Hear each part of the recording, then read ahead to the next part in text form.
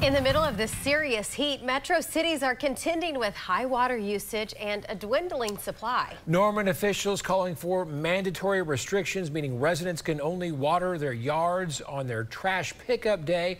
Meanwhile, Bethany residents are under a stage two water ration. Families can only water on certain days determined by their address. And to top it all off, a major water line broke early this morning near Oklahoma City's Draper Water Treatment Plant. The Utilities Department is now working to restore water pressure to the thousands of homes impacted by this. News 9's Kobe Thielen joins us now with an estimated timeline and the wide-ranging impact of this.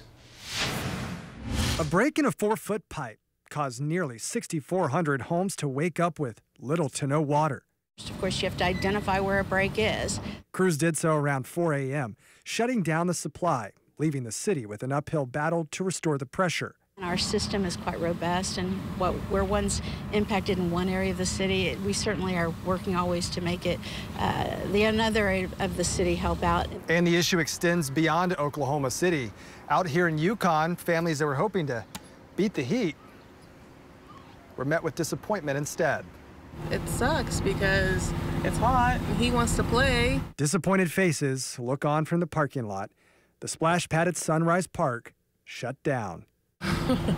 yeah, it would have been nice. It would have been really nice because it is hot. I was going to get out there and play with them. Yukon gets half of its water from OKC. In an effort to conserve, it won't reopen the splash pad until the issue is resolved.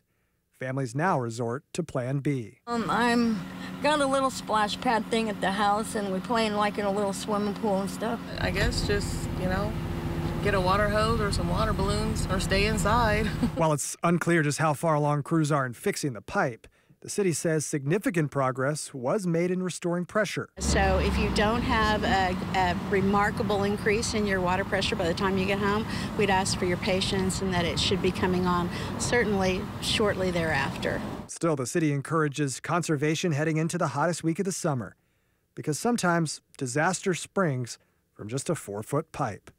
Colby Thielen, Oklahoma's Own, News 9.